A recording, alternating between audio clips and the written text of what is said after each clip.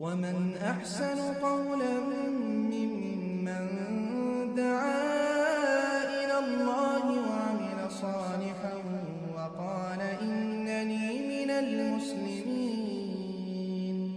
ওয়ালাইকুম সালাম রহমতুল্লাহ একদিন বোন আপনি জানতে চেয়েছেন চার ভরি সোনা থাকলে ওই সোনার জাকাত দিতে হবে কিনা এবং কত টাকা নগদ থাকলে জাকাত ফরজ হবে জাকাত ফরজ হওয়ার জন্য স্বর্ণের যে নিসাব বা যে পরিমাণ স্বর্ণ থাকলে বা যে পরিমাণ নগদ অর্থ প্লাস স্বর্ণ মিলে পঁচাশি গ্রাম সম পরিমাণ মূল্য হয়, সেটা থেকে আপনাকে জাকাত আদায় করতে হবে বা বের করতে হবে বা ওই সময় আপনার উপর জাকাত ফরজ হবে।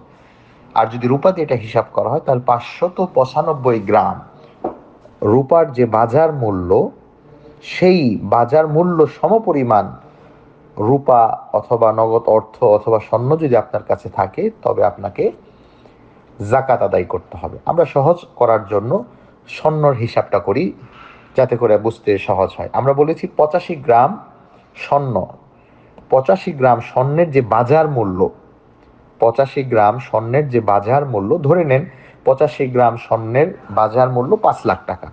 ধরে নেন, ওইটা আপনি যখন জাকাত বের করবেন, তখন আপনি যাচাই করবেন বাজার মূল্য কত। আমি অনুমান করে বা একটা বোঝানোর জন্য আমি একটা দাম নির্ধারণ করলাম, সেটা হচ্ছে যে পাঁচ লাখ টাকা। পঁচাশি গ্রাম স্বর্ণের বাজার মূল্য হচ্ছে পাঁচ লাখ টাকা।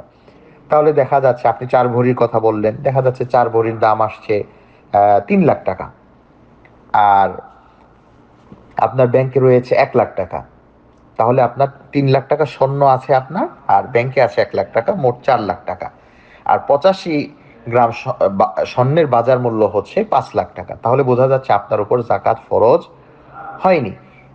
কিন্তু আপনার স্বর্ণের দাম যেটা আমরা বললাম, আপনার কাছে আছে তিন লাখ টাকা স্বর্ণ আপনার রয়েছে, সেটা চার ভরি হতে পারে বা তিন ভরি হতে পারে। এক কথায় আপনার কাছে তিন লাখ টাকার সমপরিমাণ স্বর্ণ রয়েছে। আর ব্যাংকে আপনার আরও পাঁচ লাখ টাকা জমাকৃত রয়েছে। তাহলে আমরা কিছুক্ষণ পূর্বে বললাম যে পঁচাশি গ্রামের স্বর্ণের বাজার মূল্য হচ্ছে পাঁচ লাখ টাকা। তাহলে আপনার ব্যাংকে পাঁচ লাখ টাকা আর আপনার কাছে স্বর্ণ রয়েছে তিন লাখ টাকা। তাহলে হচ্ছে আট লাখ টাকা, এই আট লাখ টাকার জাকাত আপনাকে আদায় করতে হবে।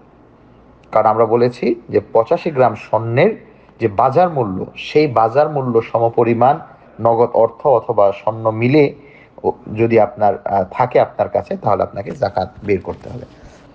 অথবা এটা রূপার ক্ষেত্রেও রূপার যে নিসাব, সেই নিসাব দিয়ে আমরা করতে পারি। পাঁচশত পঁচানব্বই গ্রাম রূপা, যে এই পাঁচশত পঁচানব্বই গ্রাম রূপার যে মূল্য, বাজার মূল্য, সেই বাজার মূল্য সমপরিমাণ রূপা অথবা স্বর্ণ অথবা স্বর্ণ, রূপা নগদ অর্থ মিলে যদি এই পরিমাণ হয়, সেক্ষেত্রে আপনার উপর জাকাত ফরজ হবে। শতকরা আড়াই টাকা করে। আল্লাহ আলম বিশ্বাস বারাকাল্লাহ ফিকুম।